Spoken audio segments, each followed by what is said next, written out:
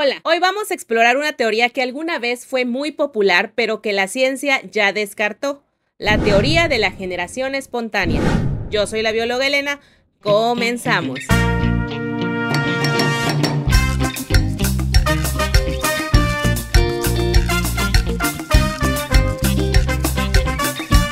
Imaginen esto. En el pasado, la gente creía que la vida podía surgir de la nada, como por arte de magia.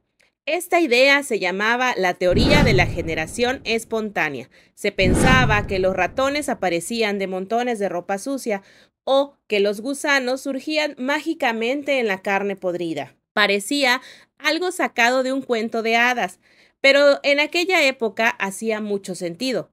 La teoría de la generación espontánea fue una idea sostenida por muchos filósofos griegos clásicos como Aristóteles y otros pensadores desde la antigüedad y hasta el siglo XIX. Se creía ampliamente en la época medieval y renacentista y fue aceptada como una explicación válida para el origen de la vida en ese momento. La generación espontánea llegó a ser apoyada por naturalistas como Georges Louis Leclerc, conde de Buffon, y Jean-Baptiste Caballero de Lamarck quien en las primeras décadas del siglo XIX la apoyaba para ciertos organismos primitivos. El experimento de Francisco Redi. En 1668, Francesco Redi desafió la creencia de la generación espontánea, mostrando que las moscas no surgían de carne podrida, sino de huevos depositados por otras moscas. Su experimento, demostrado con matraces abiertos y cerrados, evidenció que los gusanos solo aparecían donde había acceso a moscas, aunque algunos seguían creyendo en la generación espontánea debido a la existencia de microorganismos invisibles. Reddy sentó las bases para entender que la vida proviene de la vida preexistente. Experimento de Lázaro Spallanzani. Lázaro Spallanzani en el siglo XVIII refutó la teoría de la generación espontánea al calentar y sellar frascos con caldo nutritivo, demostrando que sin acceso al aire no se producían microorganismos, volviendo a realizar el experimento de John Needham, pero en esta ocasión sellando herméticamente los frascos. Su teoría, en 1769, Omne vivo ex vivo, afirmaba que la vida solo proviene de la vida preexistente el experimento de Louis Pasteur. En 1859, Félix Pauchet publicó un tratado sobre generación espontánea que Pasteur consideró su principal oponente y decidió refutar en su trabajo contra esta teoría. En 1866, Louis Pasteur decidió investigar y realizó un experimento brillante.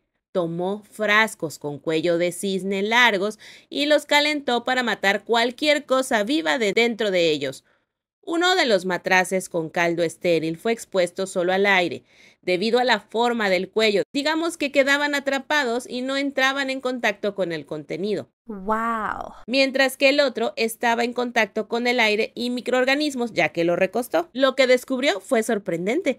Solo en el frasco en contacto con microorganismos aparecieron más microorganismos. Los otros frascos permanecieron libres de vida. Esto demostró que la vida solo proviene de la vida preexistente, no surge de la nada. El fin de una creencia errónea. Gracias a todos estos experimentos, la teoría de la generación espontánea fue desacreditada en 1864. El experimento de Pasteur marcó un hito en la historia de la biología y terminó con la aceptación generalizada de la teoría de la generación espontánea. Ahora entendemos que la vida no aparece mágicamente de la nada, sino que viene de otras formas de vida ya existentes. Esta es una lección importante en biología. La vida se reproduce a partir de la vida. Es decir, que la teoría de la generación espontánea se reemplazó por la teoría de la biogénesis. Conclusión. Así que ahí lo tienen. La teoría de la generación espontánea fue una creencia interesante en el pasado, pero la ciencia nos ha mostrado la verdad. La vida no surge espontáneamente de la nada, sino que proviene de otras formas de vida. ¿Qué les parece este emocionante viaje a través de la historia de la ciencia? Déjenme sus comentarios abajo y no olviden suscribirse para más aventuras científicas.